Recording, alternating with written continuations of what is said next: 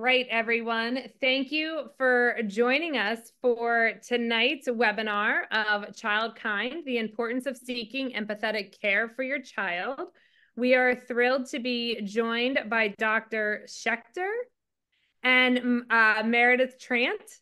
So if I said those wrong, I apologize now. Um, so this is kind of the agenda of the night. So we're going to go over a little housekeeping stuff, do some introductions about our presenters. They will present and then we'll take Q&A at the end. Tonight's initiative is a collaboration effort from myself at the Pediatric Pain Warrior Program. So my name is Casey Cashman and I am the director of the Pediatric Pain Warrior Program through the U.S. Pain Foundation. Um, and then Amy Graham, who was not able to join us, but with migraine at school. So a few housekeeping um, topics. This webinar is educational only. U.S. Pain Foundation and Migraine at School do not recommend or induce, uh, endorse one treatment, therapy, or product. Questions will be taken at the end. To ask a question, uh, on the Zoom, you can just type right into the Q&A icon at the bottom of the screen and we will get to your questions when that comes up. Please just make sure to try and keep your questions on topic. Um, understand that both Dr. Schechter and Meredith are not treating your child. Um, and so if we can just keep the questions uh, to the general nature, that would be great. Uh, and this webinar is being recorded and will be posted at a later date. Um, so now to meet our presenters. So Dr. Neil Schechter is a senior associate in pain medicine um, emeritus at Boston Children's Hospital, directed, directed the chronic pain program there, and is on the faculty at the Harvard Medical School. He is the president of Childkind, a global initiative to reduce pain in the ch children's healthcare institutions. Dr. Schechter received his medical degree from the University of Connecticut. He completed pediatric training at the University of Connecticut and fellowship trainings in development, developmental pediatrics at Boston Children's Hospital and Harvard University in Boston. He has authored over 130 articles and is the senior editor of Pain in Infants, Children, and Adolescents, the major multidisciplinary textbook in the area of pediatric pain. He has served on numerous editorial boards and expert committees in the area of pediatric pain, including the World Health Organization uh, Expert Committee on Pediatric Pain and Palliative Care, the Task Force on Chronic Pain in Children of the, Amer in, of the American Pain Society, and um, the Lancet Commission on Pediatric Pain. He has given numerous named lectures around the world and received the Jeffrey Lawson Award for Advocacy in Children's Pain Relief from the American Pain Society. Dr. Schechter's initial research has focused on pain associated with cancer and sickle cell disease and the pain procedures associated with those conditions.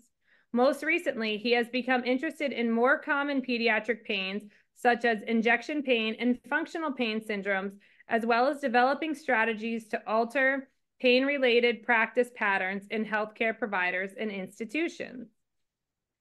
And then we have Meredith Trant, MSW. Meredith holds a master's degree in social work from Boston College. She has over 15 years of experience as a project manager, specifically with grant funded projects. Prior to joining Childkind in 2019, her work as a project manager, manager gave her experience working within multidisciplinary teams, extensive knowledge of the data collection process, and years of content development experience. Specifically, she was the senior project manager for the grants division at Inflexxion Inc., where she managed teams covering over 10 separate phase one and phase two grants.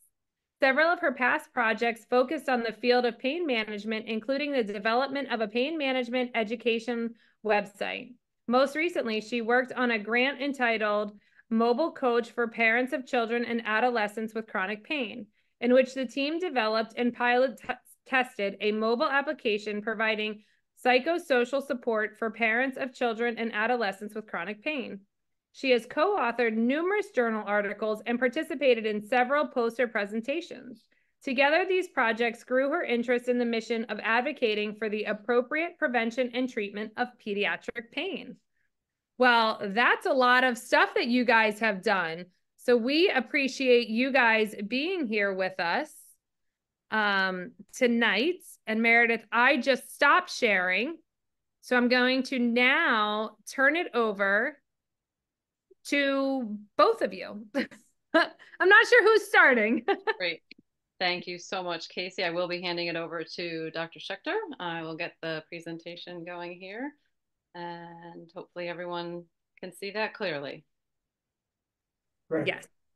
well, thanks, Casey, very much. Uh, I think our time is up uh, now after the introduction. So uh, have a nice evening, everybody. Uh, uh, anyway, uh, as Casey mentioned, uh, I've been working in the area of pediatric pain for many, many years, and uh, um, and Childkind is a, a more recent um, uh, avocation for me. It's a nonprofit that everyone is volunteers at, but we'll talk about that later. But I thought the, the purpose of our talk today would be, it, it, there's so, so few of us here, and um, there's more on the panel actually. So, so I think uh, that it, it'll be great just to have an informal discuss, a discussion about pediatric pain in general. And so, uh, with it, towards the end, we'll talk a little bit about Childkind and, and what it is. But I thought it would be helpful to have that discussion and address questions that you might have uh, as well. So, can I have the first slide, Meredith? So obviously, uh, pain in kids involves more than kids, and often pain involves uh, the parents experience the pain uh, equally, in fact, even more so, uh, as, for example, as evidence of this painting called The Sick Child by Munch. Next slide. Uh, and as you can see from this picture, uh, they actually experience it sometimes even more than the child. This is a little baby getting an injection, and you see the father's face about their experience. And in fact, there's actually been research that has um, demonstrated, looked at brain based studies that have looked at parts of the brain that are involved in the pain experience. And people looking at loved ones experiencing discomfort experience uh, stimulation in that exact part of the brain, not necessarily the physical part of the brain, but the emotional aspect of pain, which is such a critical part of it. So, so obviously, we have to address uh, when we're dealing with pediatric pain, the pain in the whole family. Next slide, please. So this is a picture here of a, a very empathic and thoughtful physician. This is uh, called The Doctor, uh, famous painting. And this guy's looking at uh, this little sick child lying there um, and um, expressing his concern and obviously his consternation about what's going on. But what you can't see in this picture, and what's a critical thing, is in the background. Meredith, could you highlight that with your cursor? That's the dad. And uh, he's sort of lurking in the background anxiously, not really involved in all this, standing in the background.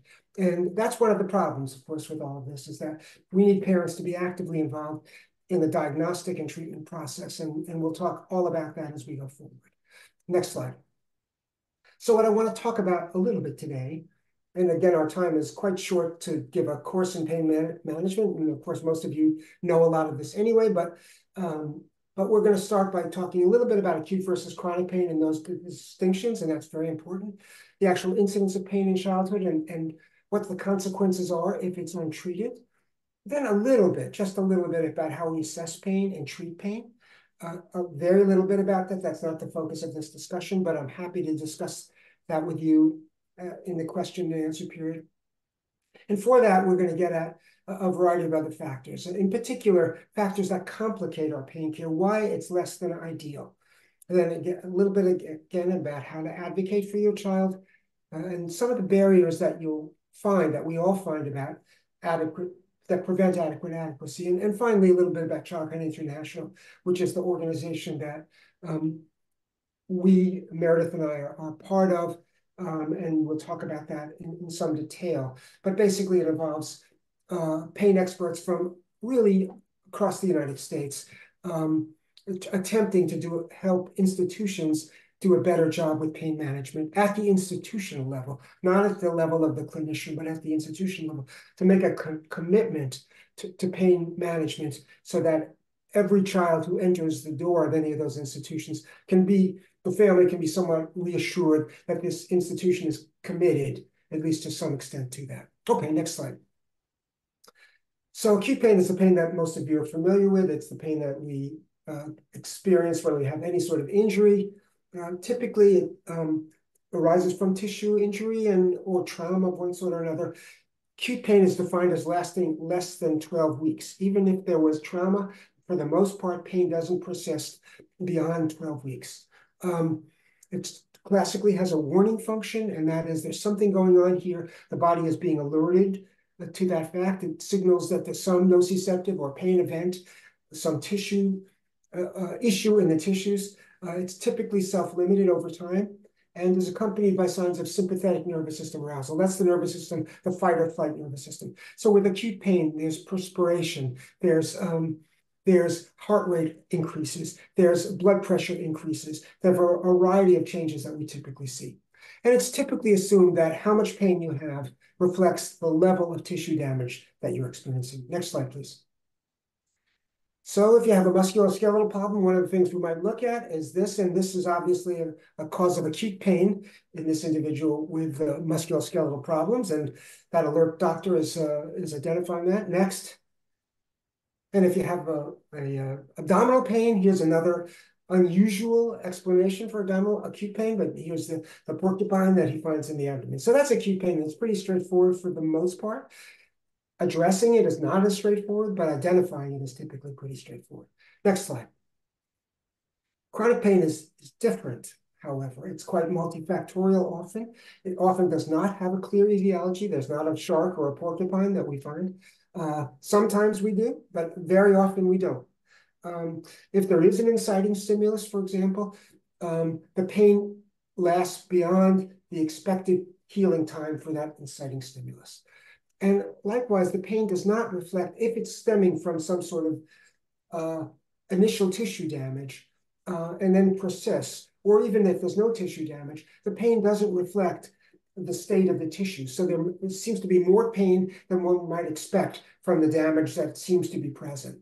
Um, and it's not reflected in nervous system arousal. So you often with acute pain, with chronic pain, don't see increases in blood pressure, increases in heart rate, galvanic skin responses, those kinds of things. So that's what's deceiving. And people will say, well, you can't really be having a 10 out of 10 pain because there's no evidence of that uh, on, on the measures that we're looking at. And of course, that's fallacious, um, but that's one of the problems in addressing chronic pain.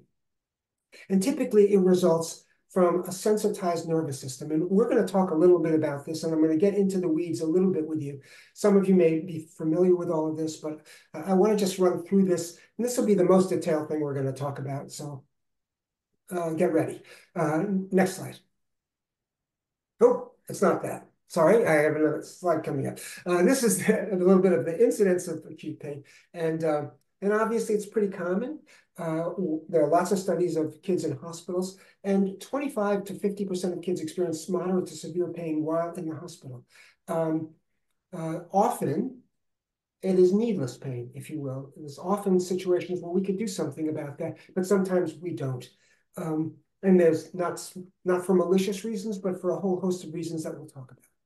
Chronic pain is a different story, very common. Um, 30% of outpatient visits are for symptoms that can't be explained by classically organic disease. And the chronic pain is um, typically about 25% of kids experience some sort of chronic pain over at some time. Girls much more frequently than boys.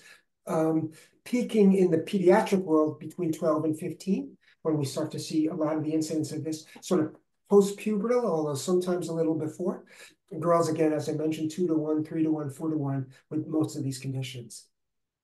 And importantly, and something I'm particularly interested in, most people who have a specific chronic pain have multiple sites of chronic pain. So that's what's called um, overlapping pain conditions. So 25 to 50% of the time, if you have abdominal pain, you might have musculoskeletal pain. And that's because you have a heightened nervous system. Information is passing through your nervous system at a more rapid rate uh, at a lower threshold than one would expect. And we'll talk about that in a minute. Next slide. So here's sort of a very um, a kind of a, a cartoon basically of kind of nociceptive pain, which is the classically acute pain, and then what's called neuropathic pain or the pain of nerve damage, if you will, and then what's called centralized pain I'll talk about later. And those are some of the conditions associated with it. And the next slide, please. And again, pain occurs in different phases of, of development. Um, acute pain can happen at any time, obviously. It can be needle pokes early on. This is not totally accurate. We took this from the Lancet um, commission, which I was a part of, but I, there's some issues I would have with the, the timing of all of this.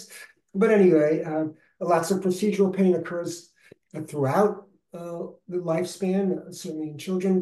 Um, there's other kinds of pain. Chronic pain tends to be, I would suggest functional abdominal pain and those kinds of pains that tend to occur a little bit later than toddlerhood, for example. I, I work in a chronic and abdominal pain clinic, and that's would be very rare in young kids. Again, most of these things tend to come out just prepubertally or post-pubertally for the most part. Uh, and then obviously lots of surgeries occur. So throughout the pediatric lifespan, if you will, there are different times when there are a variety of chronic and, and acute pains taking predominance. Next slide. And this is the one that I mentioned to you before. So let's run through this together if we could. Uh, and this is what I would suggest to you is current thinking about, uh, about chronic pain in adults as well as children. And it's a multifactorial complex phenomenon. So there's a biological predisposition that many people have. And those of you who have a child with pain this moment or are familiar with it, often there's a genetic predisposition, there's a family history in someone who might have a similar condition. There's microtrauma, that's what we talk about with Ehlers-Danlos syndrome, where constantly the joints are doing things they're not exactly supposed to do. There's early life events of one sort or another. There's temperamental differences that might predispose. We did some research on kids with one type of temperament versus another, who and their reaction to needle pain, for example, and other sorts of stressors that occur. So that's a biological predisposition. And then there's psychological factors that may or may not play a role uh, in creating this vulnerability. Um, and then those create, in particular, this what we call pain vulnerability, what's known now as central sensitization. And for those of you who are, you know, have read up on this, that's the key element of all of this, that your nervous system is conditioned to react to stimuli at a much lower level. Your pain thresholds, and we have study after study after study that looks at how your nerve from pressure, temperature, a whole host of things, even to different medications, a different response pattern in people who have multiple chronic pain problems. Anyway, you have that vulnerability, and then there's some type of trigger.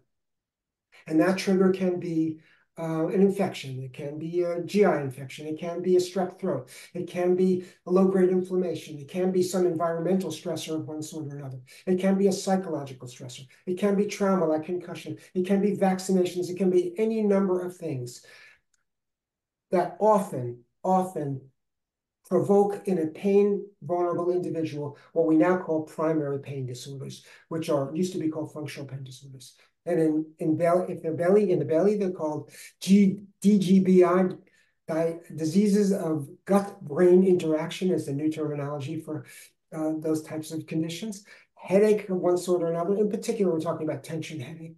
Um, but other, obviously migraine might as well, but it's a slightly different phenomena.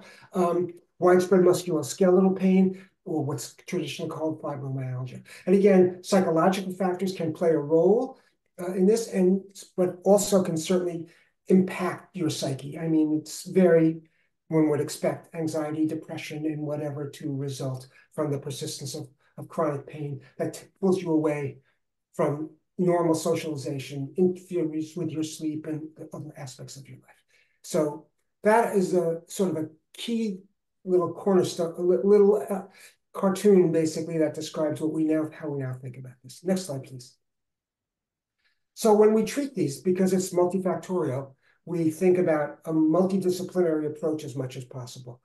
That is a luxury that some of us have uh, to work in multidisciplinary teams. It's not always a luxury and not always available to in many sorts of settings. There are 20 to 50, I think 25 uh, chronic pain programs around the country, maybe a little bit more than that. They're all listed uh, in the uh, by IASP, the International Association for the uh, study of pain, has has a listing of chronic pain programs around the country. And um, but uh, anyway, they are all multidisciplinary. They have uh, some type of pain doctor that could be a neurologist or a developmental pediatrician or an anesthesiologist or um, someone else, another field rheumatologist, and then they'll have a psychologist always to address the uh, some some of the oversensitivity of the nervous system that they might be able to quell. And they often have a physical therapist. They might have other members of the team as well.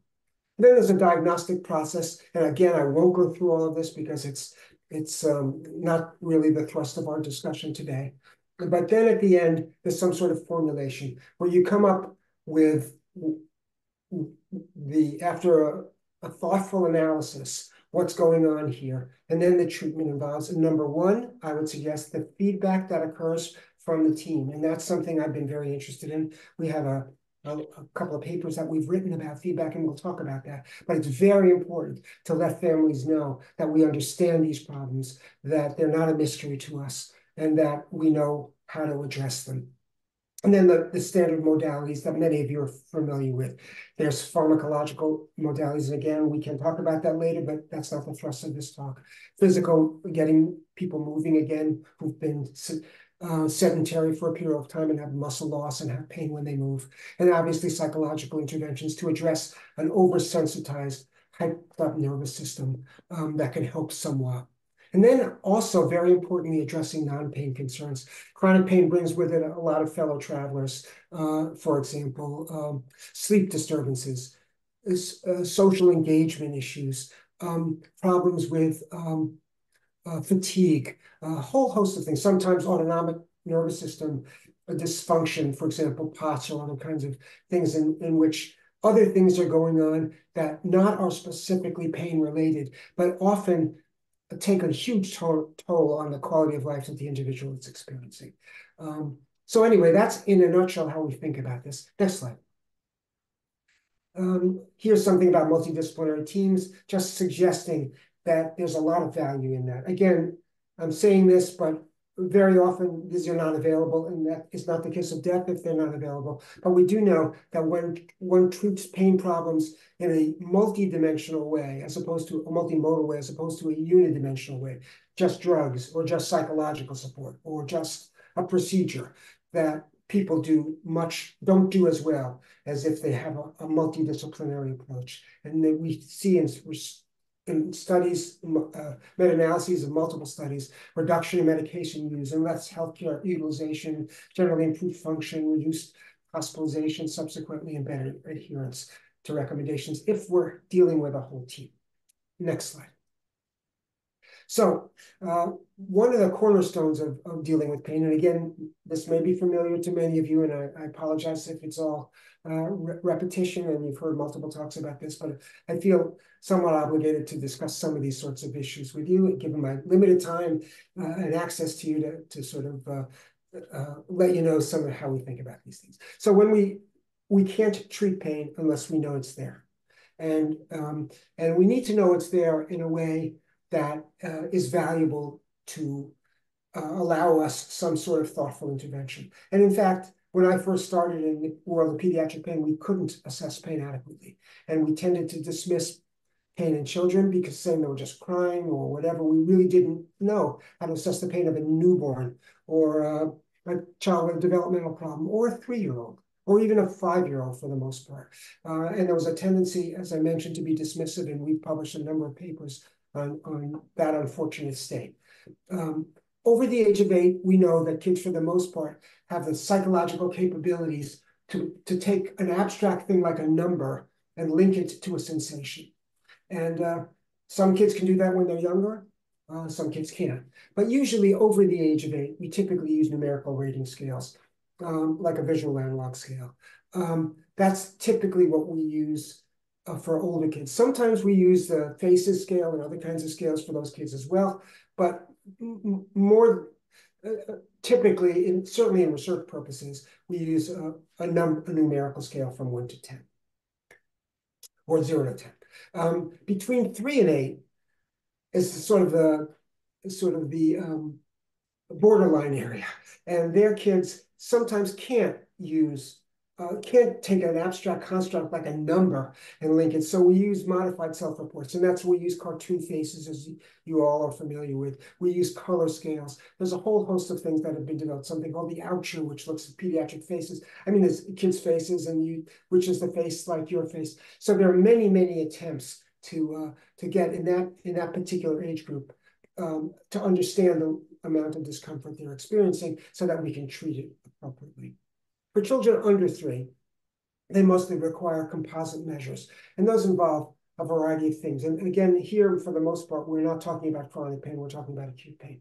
And, um, and then we use something called the FLACC, which face, legs, arms, cry, something else. Uh, uh, anyway, but a bunch of other measures. And those scales take physiologic things like uh, heart rate and position of the child, cry, comfortability, how much they how much we can comfort them, and a variety of other things, and, and put them in, into numerical numerical scale for us. So we can assess in a pretty sophisticated way the amount of pain a child is experiencing. There are also much more uh, granular scales than the FLACC for younger kids. There's a, a, a, scale for preterm babies. There's a scale for newborns in general. There's another scale that for uh, individuals who are non-communicative, uh, who have developmental problems. But for the most part, um, and we sometimes use other scales for them, but for the most part, in younger kids in most institutions, you'll see the FLACC being used. You'll see the FACES scales in slightly older kids, and then numerical scales in older kids than that. None of these are particularly helpful with chronic pain, uh, and that's problematic, right? Because uh, very often you just be experiencing the same level of discomfort, and it's hard to know what to do, and it's hard to know if there's any progress that we've made. So, for the most part, in most chronic pain programs, we tend to emphasize functional scales. In other words, to, to monitor improvement. Are you getting to school now? Are you less fatigued? Can you move around a little bit more? Are you socially engaged a little bit more? Are you eating okay? Those kinds of measures. And, the one we use is the FDI, but there's lots of them out there. And every time somebody comes into our clinic, we, we look at that particular scale. We ask them about their pain somewhat, but we know the pain is going to be there for the most part. So what we're looking for is, um, is uh, improvement in function because we know that function precedes pain reduction. And that's something that's a very, very important uh, principle that we work with in the world of chronic pain. Next slide. So um, that now we've assessed it, what the hell are we doing this for? What's the purpose of any of this? Why even think about pain in? Well, obviously, unnecessary suffering is it's a moral imperative. It's a human right. If we can avoid suffering, why not do that? But there are also consequences that we know of persistent pain. Um, some of the early work looked at immune suppression, uh, which impacted healing and recovery. A lot of that was in newborns, but we know that, as a matter of fact, that, that there can be immune suppression associated with persistent pain. There's longer stay, decreased participation in health recommendations. We know if pain is untreated. Um, there's increased healthcare utilization. So there's more tests and more medications and more visits um, that occur, uh, more frustration for the families as a result. Um, inadequate treatment of acute pain can lead to chronic pain, as Casey had suggested in our little discussion previously. And, and there's a lot of work. I've been on a couple of task forces that have looked at the acute to chronic pain transition. And that's a complex area looking at mechanisms. There's a loss of income for families. And in some families, some of the research suggests almost a loss of income of $25,000 a year, non-working, loss of, ability to work, expenditures for a variety of kinds of tests, um, going from place to place, doctor to doctor. So it's these are very uh, uh, untreated pain yields these kinds of things, and the fear of future medical care. And uh, next slide, please. And I want to talk here about a study that we did a long, long time ago, but uh, I think it, it bears discussion. Um, so many, many, many years ago, uh, in the 90s uh, or so, when we were just starting to learn about pediatric pain. It seems amazing. It's going to be, this is going to be amazing what I'm going to tell you now. But for the most part, when we were treating pain, like with for lumbar punctures for kids with cancer, we did not sedate them or because we, we, didn't know how. Um, we didn't want to kill them, but we didn't know how to sedate them. So we give them some sort of medication. Sometimes we'd certainly use local anesthetic, but for the most part, uh, we used, we didn't know what to do.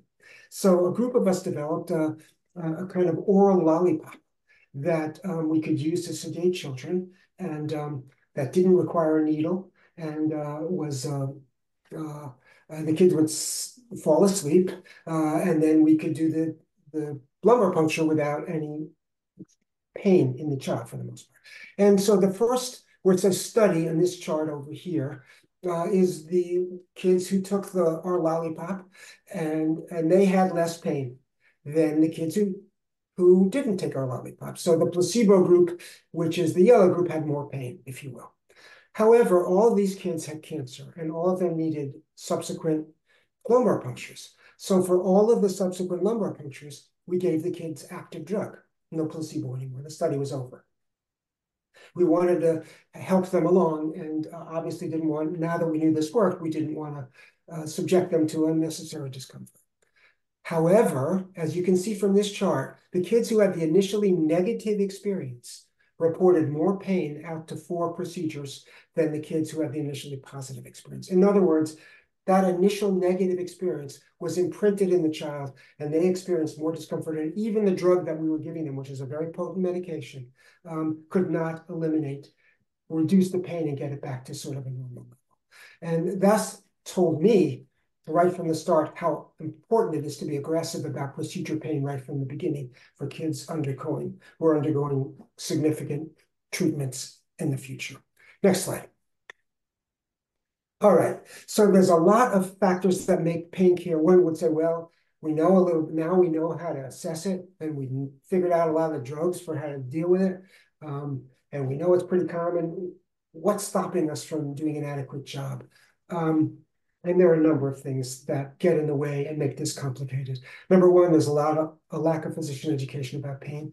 Uh, the U.S. Pain Foundation is going around helping educate folks, and we have gone. I've done. I can't even tell you how many lectures to different physician groups around the country and around the world, actually, and to help uh, uh, give them more knowledge about the importance of treating pain. And in fact, even JCAHO now has uh, the Joint Commission that approves hospitals, if you will, has a couple of pain criteria in their um, accreditation of hospitals. Very minimal, not what we like to see, uh, but but something. They're starting to recognize its importance. And many states have on licensing exams pain questions as well. So we're certainly moving in the right direction, but there's still, I'd say, a paucity of information. Another thing, especially in the chronic pain world, is the nagging doubts about the diagnosis. And uh, uh, do we need more tests? Did we miss something? Did we do enough? And that leads to an investigative carousel, if you will, of more and more and more and more testing.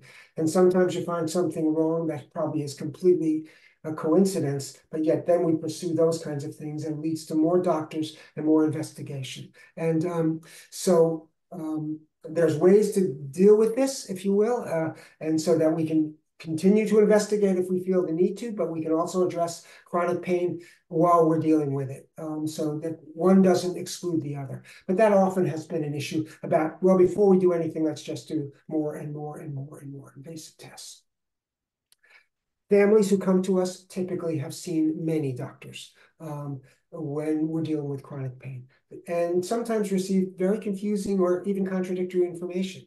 Um, one person says it's this, another person says it's that. There are a lot of hot diagnoses that uh, people tend to come up with at different times that they feel explain all of the problems that their child might be having.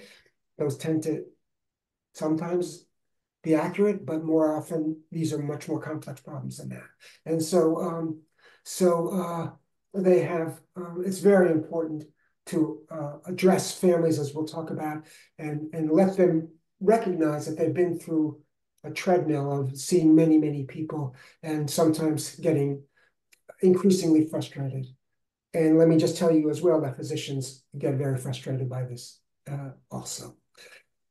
Not infrequently, very often, as a matter of fact, we'll hear families feel that they were blamed for their child's pain, that they, they felt or heard that someone said, this is all in your head. and you're making this up. I don't see anything wrong with you.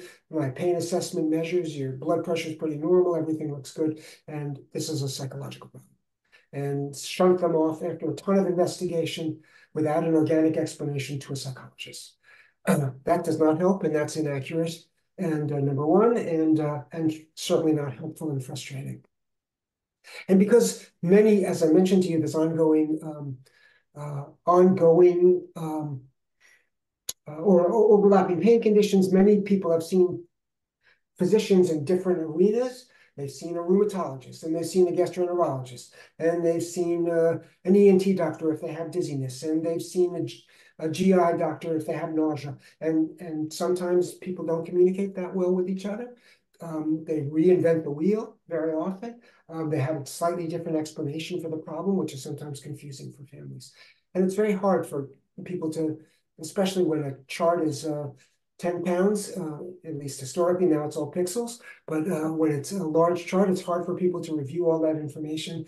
And sometimes they don't know exactly all the experience that the child has had. Next slide. Uh, in addition, in an outpatient way, these problems take a long time to address. Um, you can't do it in five minutes or 10 minutes. The average office visit is seven or eight minutes. Um, you just can't do it. Um, there's so much here. There's so much depth um, uh, that needs to be explored that um, that a busy office just not, does not lend itself to it. Uh, again, there's a typically a lack of a quick fix. Certain, you know, and as physicians, we're taught to fix these kinds of problems, uh, and you can't fix some of these things. You can work with them, you can tweak them, you can get some people better, but some people we're going to be, it's going to be a tweaking process that you're going to do. And the most important thing is the relationship that we establish. Uh, and that relationship is absolutely essential.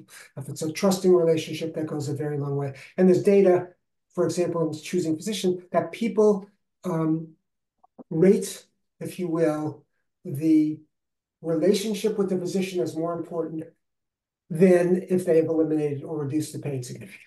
So, um, and there are studies that address that.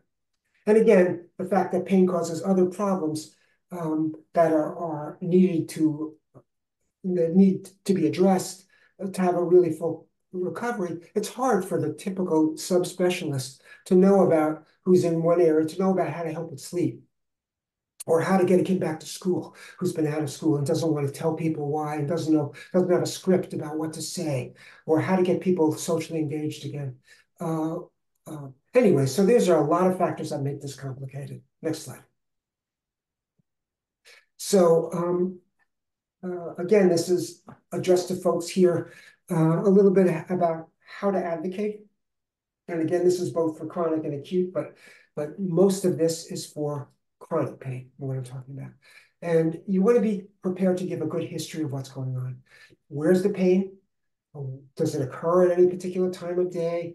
Do the locations vary? Is there a relationship to anything that you can identify? How long does it last? Uh, what makes it better? What makes it worse? Is there a family history of these things? Are there recent triggers that may have caused it?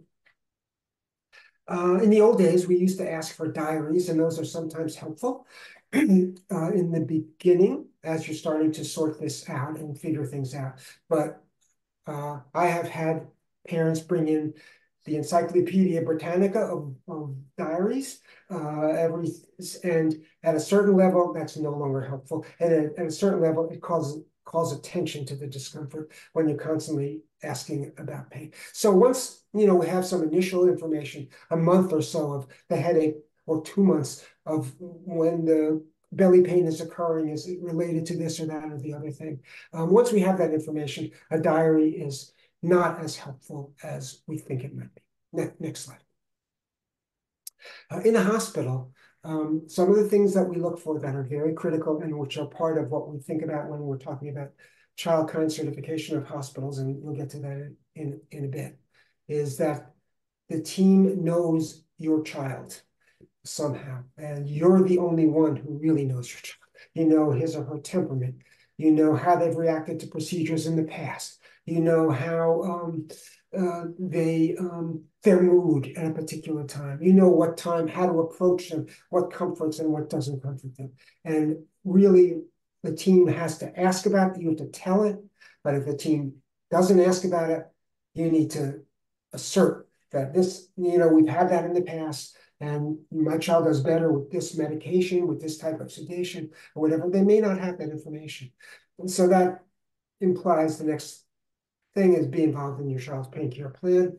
Um, many, most pediatric facilities have child life professionals who can help with distraction and comfort, comforting the child. And for procedures in particular, they're lifesavers and they're wonderful to have around, and we should take full advantage of them. Um, uh, one of the problems that we have with pain is sometimes nobody knows who's responsible for treating it. So you have a surgical procedure, and uh, and then the surgeon says, "Well, look, the wound looks pretty good, but uh, you're still suffering. Well, throw some more oxycodone." Nobody uh, call this person, call that person. Um, so there isn't a, a kind of clear accountability for the pain, clear channel, and that really we need to know who that person is. Again, before any skin breaking procedure, we want a topical anesthetic, and that is uh, very, very, very important. We can't, sometimes doesn't occur in labs. It doesn't occur because of time constraints, but in hospital before an IV start for pediatrics, in a pediatric focused facility, there should be a local anesthetic applied. Um, and if you feel pain isn't adequately addressed, then many hospitals have a pain service, and you should ask for involvement of the pain service just to be sure that everything is being offered to your child that might be a benefit. Next. Okay, so as I implied to you, um, as you're selecting a physician or a pain program, a trusting relationship with the physician is essential. Um, when you're picking somebody, you want to know that they have enough time. Um, again, these are ideal, this is an ideal world I'm talking about, but know, the, we don't live in one, but but if we did, these are the kind of things we'd want to know. Is your physician comfortable with chronic pain issues? Um, and again, in some practices, they'll acute, uh, you know, regular pediatric practices, they'll say, we have an afternoon for complex problems, complex pain problems or complex problems in general. And that we have, instead of a, uh, a 15 minute visit, an hour or a 45 minute visit assigned to that. Something we're going to talk about is optimism uh, a little bit, and there's a lot of literature on the value of optimism in both the family and in the physician. If you're not very optimistic that you're going to make this child better or help this family, and if the family isn't very optimistic and saying, well, I had my headache my whole life and my kid is going to have the same damn thing, that's not very good. And that predicts a much worse outcome. And obviously, we want to do a little bit, talk a little bit about empathy, um, which is can the individual who's caring for you, whether it's a nurse practitioner or whatever, understand your experience, your concerns, and perspectives. Next slide.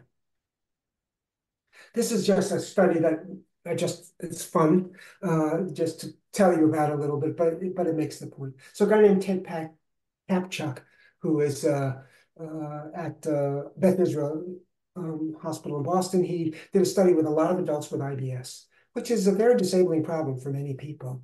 And, um, and they were assigned after being evaluated to either a waiting list control, a waiting list, they were put on a waiting list, or to a placebo acupuncture. So not real acupuncture, going to a different location than one would expect would help belly pain. But anyway, with in a limited capacity. That means the acupuncturist would come in there, do their work, and leave. Okay, and and that's called limited. And then or an augmented, which is the person would come in and talk to you, have a little bit of a relationship while they're doing that. It could be another two minutes. Um, or, it wasn't a big thing, but there would be some empathy displayed, some caring about you as an individual, finding out where you go to school, or um, anything that what your favorite, anything that they wanted. Anyway, um, they found that the even though it was placebo acupuncture in both of them, for the limited and the augmented, that on the waiting list, people over time got a little bit better. People symptoms were alleviated, alleviated a little bit by the placebo acupuncture in the limited one, but they were much better by the augmented. In other words, the person with whom they had a relationship. And at the end of the day, Kaptchuk thinks that placebo and a lot of other things are all in the relationship and the value of the relationship with the clinician. And that's very, very important. Next slide. So a couple of final things that I just want to talk about before Meredith tells you about ChildKind. Again, I think it's very important for families and the physician to have a very positive attitude about what's going on. We can help this kind of thing. Um, we want to adequately evaluate the problem to provide some reassurance that it's not an obvious uh, thing that we're missing, but not so much as to fuel the continued desire for further and further and further testing. And we know for a fact, as a matter of fact, that people who have a lot of health anxiety, for example, no amount of testing is going to make satisfy them. And people who don't, there was a an interesting study on endoscopy, endoscopics, um, you know, putting a tube down into your belly, and people both of whom had sort of worried about ulcers, and people who had in advance high health anxiety, they were satisfied for about a week, but that test where it was negative was okay, and then they worried about more tests. The people with low health anxiety, they were okay with that test. And well, we addressed that kind of problem. We don't have to. So it's that's a really complicated issue, and now when I want to get too much, but that whole issue of how much is enough is a very complicated problem. At the feedback, which is the critical thing in the beginning, we want the team or the physician to discuss your expectation expectations. We want to provide an explanation that's understandable and makes sense to you. And the diagnosis should be a positive one. You know, this fits a pattern that I'm very familiar with. Um, you don't want to say, well, we ruled everything else out, so it must be this, because there's always another this that you can, another thing that you can rule out. There's something somebody will find on the internet that somebody had and said, well, you know what, did you address this particular kind of problem? And you say, well, I didn't really, but that has occurred in one person in Malaysia, but that's okay. You know, so that's a very and I don't mean to diminish this at all because it's obviously a very important thing for people. But the diagnosis should be positive, and that is it fits a pattern that makes sense um, for a primary pain disorder in particular. Um, next slide. Um, as I implied to you, be a part of your child's team. When we're doing tests, if we, if the physician, this is a physician statement, if the physician feels it's going to be negative, and we're doing it for that, you should tell the family, oh, we think this is going to be negative. Um, because otherwise the family is anxiously waiting, maybe this is going to be the answer. And so you want to let people know, prepare people for negative results. But that's a positive thing, that that negative result is a positive thing.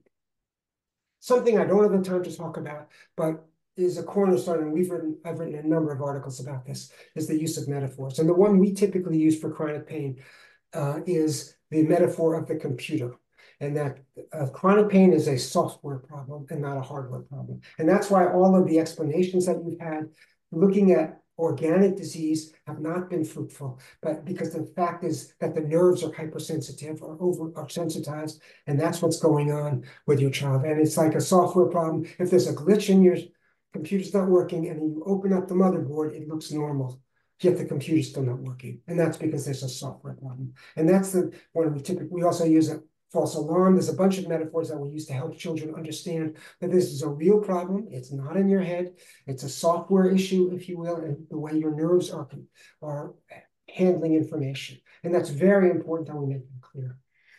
Um, we want families to ask for written information uh, about what we're talking about. And again, we want to help them identify reliable sources of information. Next slide.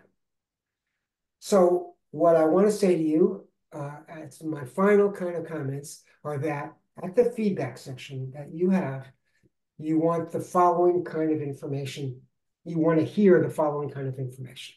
That the clinician is familiar with this. I've seen this before. You're unique, but you are not a mystery to me. You're not a mystery to me. I've seen these kinds of problems. It fits a pattern that I'm familiar with. The clinician believes the child is experiencing pain. This is not in your head. I believe you. This is real pain. You're not making this up. You're not malingering. This is a legitimate problem that you're having, and we need to address it. And finally, that there's a sense of optimism.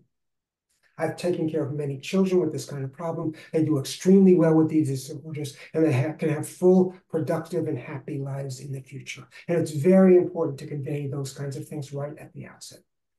Next slide. So, having said all of that about a chronic pain a, a little bit, um, I want to talk a little bit more about the acute pain situation. And again, acute pain uh, is common in the hospital, but acute pain often can lead to chronic pain, or you have a chronic pain problem and have acute episodes, what's called acute on chronic. And so not infrequently, these problems exist in a hospital setting. So why aren't we adequately dealing with this in the hospital? Well, there's typically a lack of culture in which pain management is a priority. What's a priority is healing your child, and that's very important, obviously.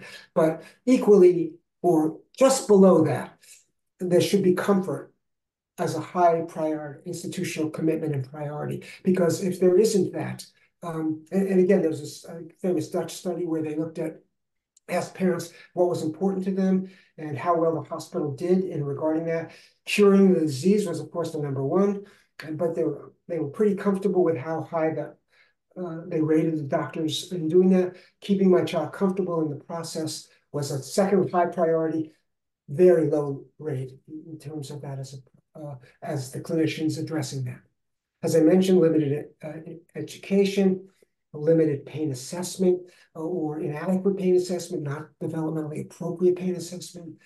And that leads to a lack of uniform approach throughout an institution. So we'll see very frequently one uh, orthopedic surgeon will handle something in one way and another will handle an entirely different way. And obviously, we're independent practitioners. Everybody's learned different kinds of things. People have experience, but it's very distressing sometimes to see a child with a, a thoracotomy who one physician deals with in one way and another. The child obviously is having much more discomfort and we know that there are ways to deal with that if the physician would just allow the pain service to handle it or at least uh, read up on what's currently how to address this. And as i mentioned before a lack of clear accountability in institution so uh, the next slide. So to address all of these, how am I doing for time, by the way? I, I don't have a watch. We're, we're running pretty close to out of time. So we got out of time. Yeah. Do we only have an hour? Okay. Okay. Uh, sorry. Uh, can we go a little bit longer or? Uh... Sorry, I had to unmute myself. Yes, I mean, as long as people people can, if they have to go at eight o'clock, they still can, and they'll still get the recording of this as well. Okay, great. So uh, to address all these kinds of, I'm sorry, I talked so long. Uh, so to address all these kinds of concerns, um, we recognize that to get this information that we now know to the bedside uh, was problematic and not happening. And there's been lots of studies of that. So we thought there were a number of us from multiple countries, but mostly from the US and Canada, got together who were involved in pain and felt that if we change the culture of institutions by encouraging institutional commitment to pain care that we would do a better job by creating a gold standard, a benchmark, if you will, that institutions could aspire to and be get a, a seal of a good housekeeping seal of approval. I don't even know that exists anymore, but the equivalent of that um, kind of thing. If we recognize institutions that did a good job, that that would be we call them ChildKind hospitals, and um, and so we set about trying to do that. And uh, I'm going to let Meredith take over um, now, after I used up all our time, uh, about how we did this. So we had a meeting and we all came about developing a number of principles that are mandated for uh, child certification. Okay, sorry. Great. That's okay. Thank you, Neil.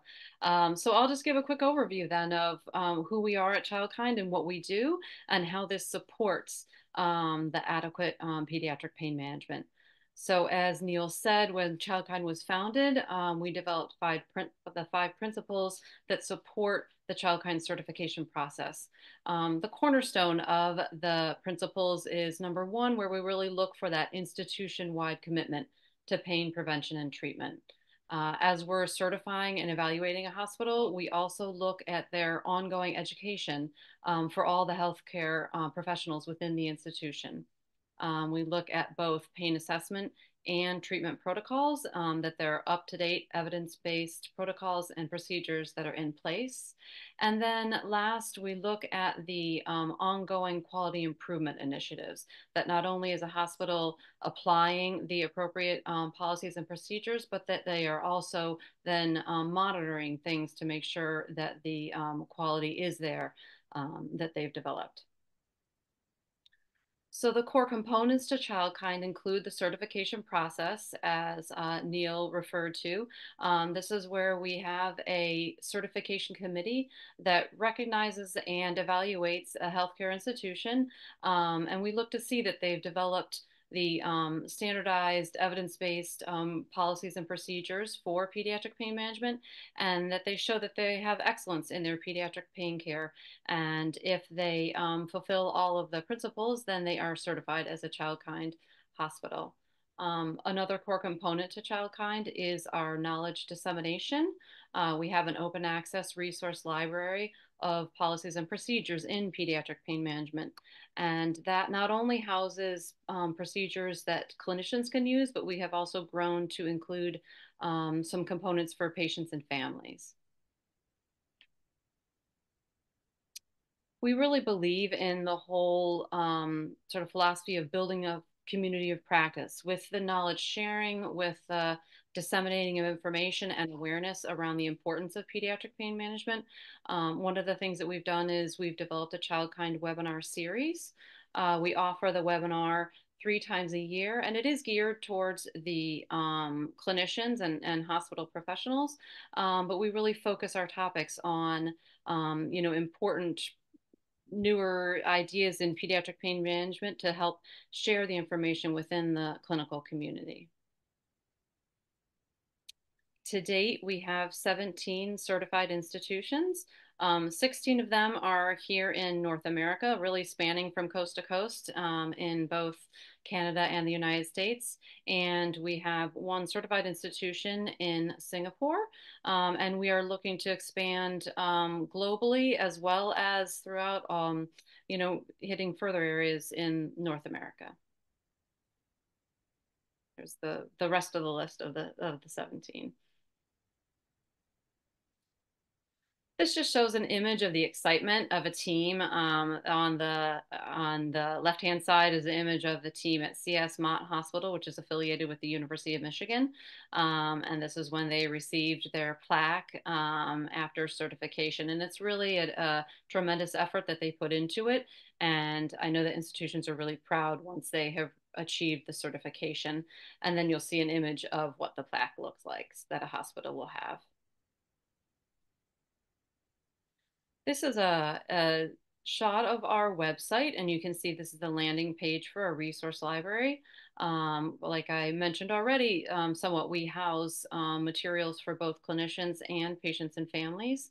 Um, we've also recently added um, a health, the, the pain standard that was developed by the Health Standards Organization in Canada, which is a great starting point for institutions to really look to develop all of their um, pain care practices. As a part of ChildKind, we're proud that we are endorsed by a lot of other organizations who are in the uh, pediatric pain care field.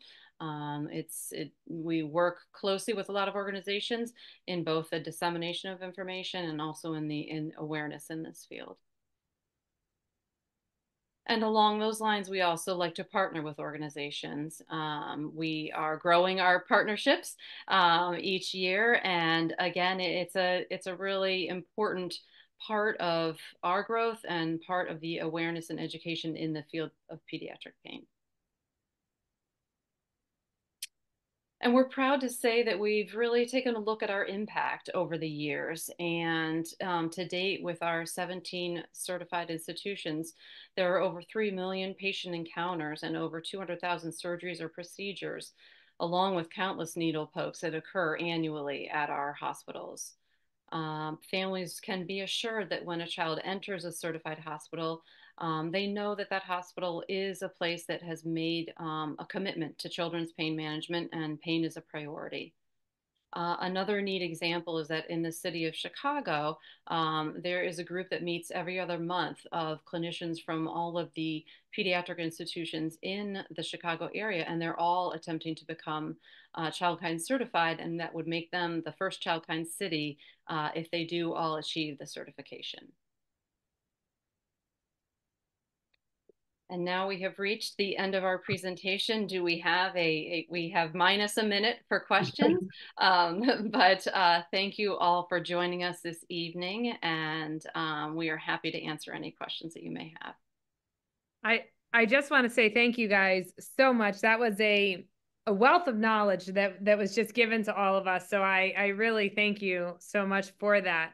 Um, and I know we have a question in the Q and A, but um, I got sent a question and it was um, when you talk about the multidisciplinary approach um, and and really you know the biopsychosocial aspect of it um, is there and mind you i know the the answer to this but we want your answer to it.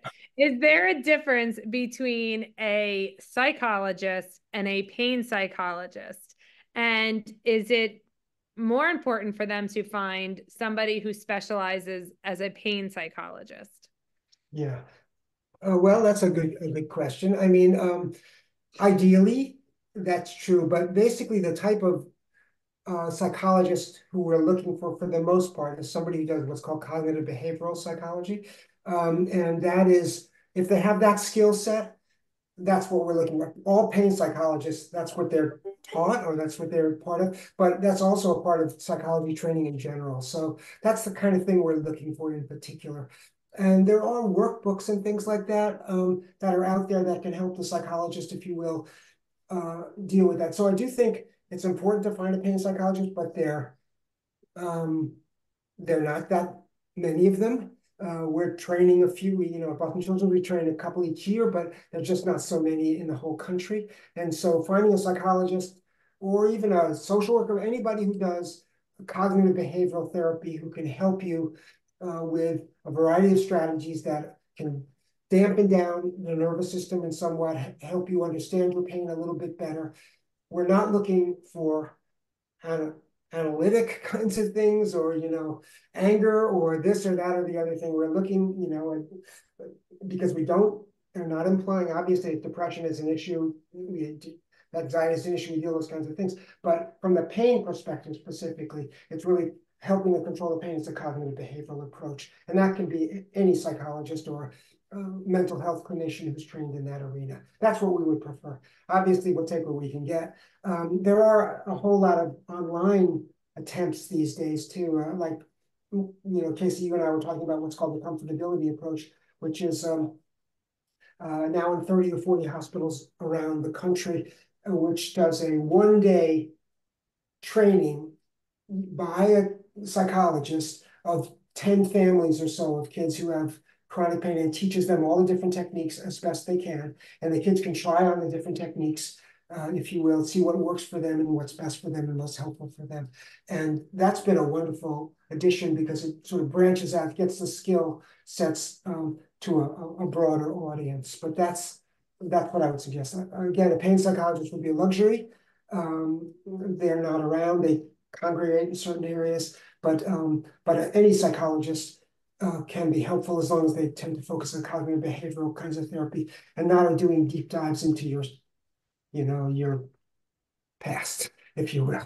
Um, We're going to live in, a, in an um, a wishful world here and wish that there was pain psychologists all over and ready for everybody. right, right. Um, the next question is How is it possible to make a diagnosis not by exclusion with a lot of different symptoms? Besides pain that can be part of so many different conditions? Yeah, so that's a, a critical, obviously, essential kind of problem. Um, the reason we emphasize not by, I mean, obviously, we are talking about doing some modicum of laboratory investigation. Um, we're talking about doing uh, in-depth history and, and in-depth physical. Um, so we're not doing nothing to address all those kinds of things. But the critical thing is that these problems have been around long enough for us to understand what they look like. And um, so, for example, they have classic patterns and um, uh, and classic locations. And um, and so, if pain is wandering, uh, for example, you know, one of the classic things is more localized pain tends to be, you know, you go after a more specific kind of problem, if you will. We found a lot of kids with abdominal pain who had a very tender area, and that ended up being abdominal cutaneous nerve entrapment, something we didn't even understand before, but now is something that we know can be helped. But when they have more generalized problems, especially overlapping pain conditions, uh, and if it's a pattern that um, a, a, a, pattern that we're familiar with that has been developed. The uh, GI people have been very sophisticated at this, at developing algorithms about do this test. If it's this, this, then you know yield, and so you have a reasonable sense that this is more than likely this kind of problem. It's always possible that there's something very obscure. Obviously, uh, you know, one of the big things you're taught in medical school, if you hear hoof beats, you think of, you know, horses and not zebras. So, you know, we want to go with the more obvious things. Obviously, there are subtle kinds of problems that exist. Uh, and um, we're finding more and more of those kinds of things. Um, but um, there's no downside to beginning a rehabilitation approach, if you will, for chronic pain in particular, even as we're exploring um, the potential of other kinds of explanations. And, and that's kind of what I would say to that. It's a very complicated area. The nagging doubt issue is a major issue that we, we grapple with. Um, and that's why you want physicians, for the most part, who have a comfort level, even with content, with this kind of problem. Neurologists who have a comfort level with migraine or tension headache, GI doctors who have a comfort level with DGBI, uh, as opposed to whether, because we want them to say, well, this is familiar to me this is a pattern that's familiar to me. And uh, it has the classic hallmarks of that.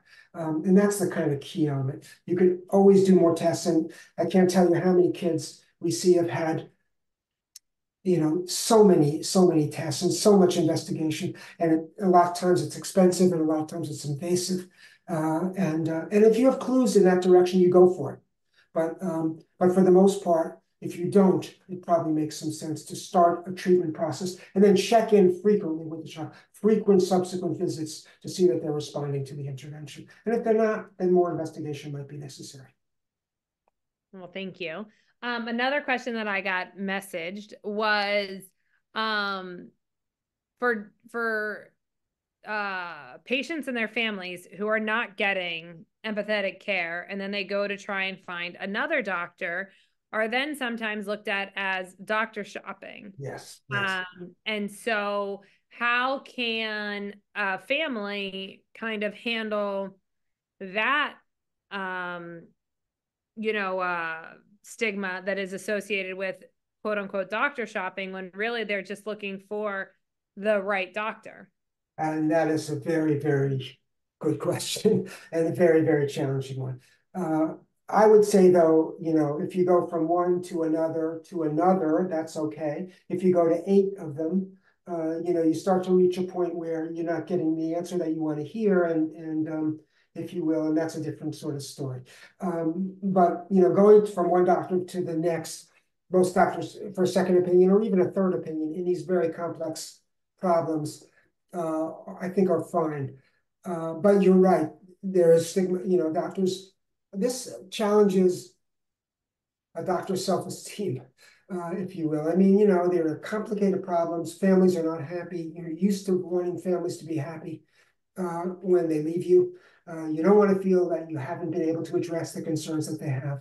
Um, and so it's frustrating when, you know, uh, there was a survey of, of uh, Texas neurologists. You, you mentioned you're going to Texas Children's. These weren't pediatric neurologists but they were surveyed, this was a number of years ago, about what conditions that they like to treat. And, uh, and I would say that tension headache was, give them a good epilepsy or, uh, you know, something else, um, you know, that's great. But uh, when you're dealing with some of these other kinds of problems, which are much more vexing and more complicated and don't have easy answers. So they rated handling headache as one of their lowest, lowest priorities in terms of interest and frustration. And, and that filters out and they start to see families with, through that lens. So, um, but no one would have an issue if you're feeling you're with somebody who's not giving you the time of day or you feel you're getting a simplistic answer, go see a psychologist or, you know, let's try these drugs without any other sort of thoughtful interventions or that seeming understanding what's going on, or more and more and more and more investigation, then it might be time to look at somebody else, even, even if you hurt the guy's feelings or woman's feelings. All right. So I think we I got one more, and then we have one more online here too. Um, the question that I was sent was um, when you talked about, you know, and I forget exactly what you said, so I'm going to paraphrase it um, about figuring out who the one doctor is who's going to kind of con- take over the control of Yeah. of pain. Accountability. Um, Yeah. Yes, and so, but if if they do have like if they have sent you to a couple different doctors, right? Whether it's the neurologist, the anesthesiologist, and a GI doctor, how do you figure out which one is like the chief and which one are the Indians? Like, how do you figure out which one's the head one to listen to, and which one is you know the secondary opinion type of a deal? Another very good question. You guys are asking very difficult questions. I mean, I, I, we often will hear, and I've been on a committee where we interviewed lots and lots of families about this, and they reported that they felt that they were the general contractor and everybody else was a subcontractor. That the parents were the general contractor. So they didn't, you know, no one took control, if you will, and they had to find all the subs, and all the subs didn't necessarily talk to each other. Um, uh, you know, uh, being maybe hubris to some extent, but the pain doctor might be the logical person to be the captain of that particular ship. Now, some pain doctors, and I will say, if it's adult focused, they tend to be very, very procedure oriented. Um, very procedure oriented, and we're not as procedure oriented for children. You know, we do some procedures, obviously, but not nearly as if you went to an adult. So, you know, we want to be sure that that there's lots and lots of interventions other than just sticking a needle into you and doing, you know, one thing or another. Um, so, uh, but typically the pain doctor, I would say, would be the person who would have access to a pain psychologist, uh, typically, or someone they could recommend who would say, well, this physical therapist makes some sense because we've had experience with that. You know, they'd have the most experience at, at dealing with pain per se. That's not always the case. And there are certainly doctors in other fields who are very, very good at this and are, are familiar with what's going on in their particular communities. Uh, and that's what you need. If somebody knows what's going on in your community, who knows the people who are uh, empathic uh, or relate to this kind of problem. Often they've had their own chronic pain problems or they family members who, who have, and so they're particularly sensitive and thoughtful in this arena. Um, but that's a tough, a tough problem. Awesome. We're asking you some tough questions late at Yeah, night. you are, you, you're killing me. the next question, this one's a little easier. Okay. Uh, so the next one says, can individual doctors get certified? Would it be different price from the whole hospital certification? Meredith, do you want to handle that? Sure thing. Sorry, had uh, myself on mute there. Um, so no, at this stage, we do not do an individual certification for a physician. Um, we're just looking at the whole institution. Um, what we are growing into though is really to date, we've mostly certified the large tertiary children's hospitals, and we're excited to be expanding more into um, thinking about what certification might look like at a um, at a specialty clinic or at a community hospital or at a rehabilitation hospital. Um, we also recently certified our first children's hospice. So we're branching out in that way, but it is not an individual certification. Right. Although there was a practice actually that had multiple sites that did request possible ChildKind certification, but we're, we're not there yet. Uh, it's very labor intensive for us to do this and it's all volunteers and everybody can't run to all these facilities now, but, but we are thinking about that. And certainly we're looking at multi-specialty practices that don't have a hospital base. And one or two of those are already on, in our pipeline. There's about 20 hospitals that are, uh, institutions, if you will, that are in the pipeline that in various stages of, uh, of certification. Well, those were all the questions that I was sent or that, that came up on the Q and A. Um, again, just on behalf of US Pain Foundation and the pediatric program, I just want to thank you both for coming and putting on this amazing uh, presentation. And it's just, it is so important to all of our families um, and really trying to help understand the pain um, the pain journey that they're on and really the importance of finding that empathetic doctor and how that alone can change the trajectory of that pain journey for their for their whole family um, and i love that you say that you want the family involved because that is something that we really strive for is making sure that the the whole family is involved in the care, in the support, in and that they are also getting the support that they need. The the parents are, the siblings are that chronic pain does not just affect the child um, that is living with the pain, it affects the entire family. And so we really try to focus on that and try and really work on that family unit as well. So I appreciate that you spoke about that um, in your presentation as well. But I just wanted to say thank you both again so much for for joining us. Um, and hopefully this just continues our relationship that we will be um, forming here. And you know, we we thank you guys for everything you're doing for all of these pediatric pain patients that are out there.